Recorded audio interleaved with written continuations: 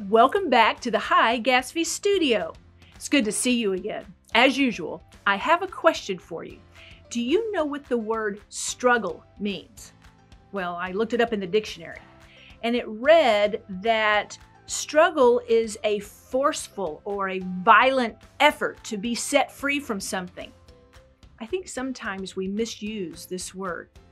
I've heard people say, I struggle to get out of bed in the morning, or I really struggle with math. When I think about the definition, a violent or forceful effort to be set free from something, I don't think sleeping or a math problem is really a struggle. I'd like to introduce you to an artist who knew struggle and he was able to tell stories of struggle in his paintings. His name was Jacob Lawrence. And have I got a story for you? Jacob Lawrence was born in 1917 in New Jersey. He was the oldest of three children in the Lawrence family. His father worked as a railroad cook, then as a coal miner. But when Jacob was seven years old, his father left the family. His mother struggled. It was hard finding work with three small children at home.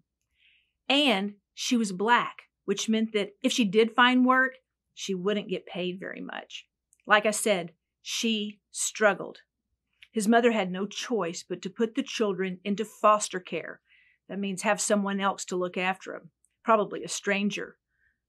When Jacob was 13 years old, he and his brother and sister were reunited with their mother in Harlem. That is a neighborhood in New York City, and the residents are predominantly African American. His mom enrolled him in school, but she needed something for Jacob to do after school. She found an after school program called the Utopia Children's Center and Jacob was eager to attend. He loved to draw with the crayons that they provided, often copying the patterns he found on his mother's carpets. His mother had inexpensive carpets laid all around the home to brighten up their poor living conditions. His teacher, Charles Alston, saw his drawings and he saw a real potential in Jacob Lawrence. Many well known artists worked with the children in the community. They wanted to pass on their stories as artists during the Harlem Renaissance to the next generation. Jacob heard story after story. Some of the stories were about African American artists and how they had to struggle to make ends meet, struggle to be black artists in a white world. And some stories were about the struggle of their heritage and slavery. Jacob Lawrence loved history he loved hearing the stories told by his mother and by his teachers about African American history and the people who played a role in it. His favorite things to do was to go to the library and study history and go to museums in New York and look at famous art. In 1932, the Great Depression hit. Money and jobs were scarce. Jacob had to drop out of school and get odd jobs to make some money for his mother, his brother, and his sister. At times, he would be a newspaper deliverer, and at other times, he would work construction. President Roosevelt started the WPA, which paid artists to create during the difficult time of the Great Depression. Jacob applied for a scholarship and was given $1,500 to paint a series of panels. Now, this is where it gets creative. Remember me saying that Jacob loved to hear stories? He also loved to tell stories. And he wanted to tell a story with his painting, but not just on one canvas.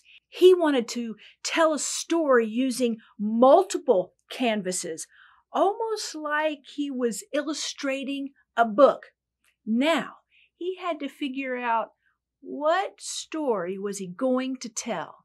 He thought about it and thought about it. And then it hit him. He wanted to paint a story of the Great Migration. That was a time in the early 1900s when African Americans packed up all their belongings and moved from the South to the North for a better life. Jacob purchased 60 canvases. You heard right, 60 canvases and he began to paint his story. I want to show you a few. As I mentioned, he called his story The Great Migration, and this was panel one or picture one. Underneath the picture, it read During World War I, there was a great migration north by Southern African Americans. You can see from this painting that crowds of African Americans are at the train tracks waiting for the trains. Can you tell where the trains are going? What colors did Jacob Lawrence use? Can you see any facial expressions?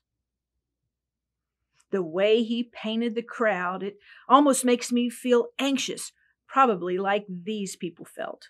And here is panel number 30 of the Great Migration series.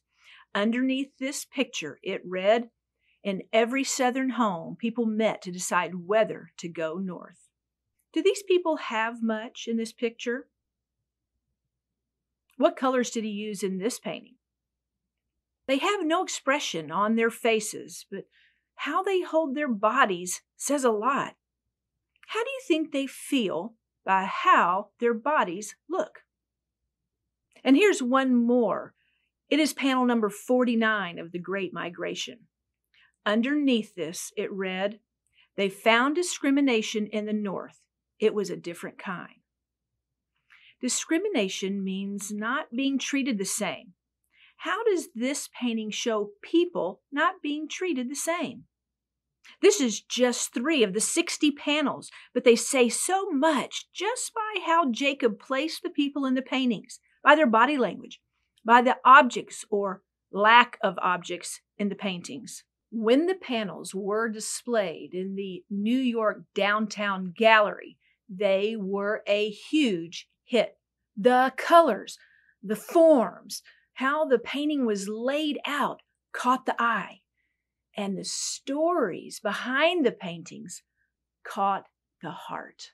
Jacob Lawrence was the first African American to be represented by a New York gallery. Fortune magazine wrote an article about him, and the Museum of Modern Art and the Phillips Collection jointly purchased all 60 panels.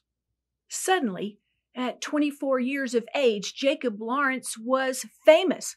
He was a famous African American artist. It had never happened before. Because he loved history, especially African American history, he started another series. 31 panels this time, telling the story of Harriet Tubman and the Underground Railroad. The panels were such a success, Jacob used them in a book called Harriet and the Promised Land. This painting tells us a lot. The first thing we notice are some very large feet. Harriet is lying down with her feet toward us. She has her head turned towards the sky. The sun is just starting to come up, and it's time to rest.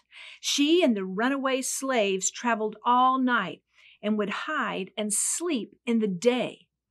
The bugs have just started to creep up onto the leaves at the bottom of the panel.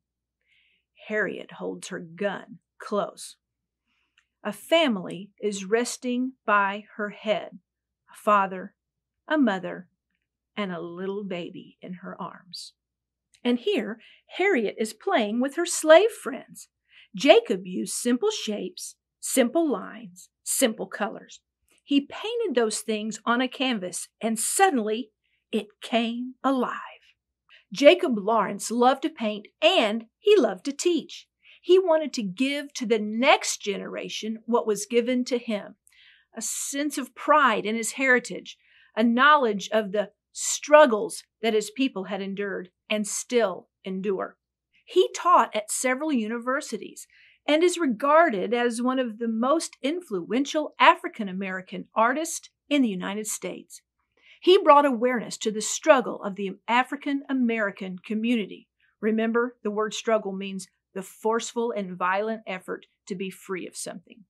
He preserved the stories handed down from generation to generation.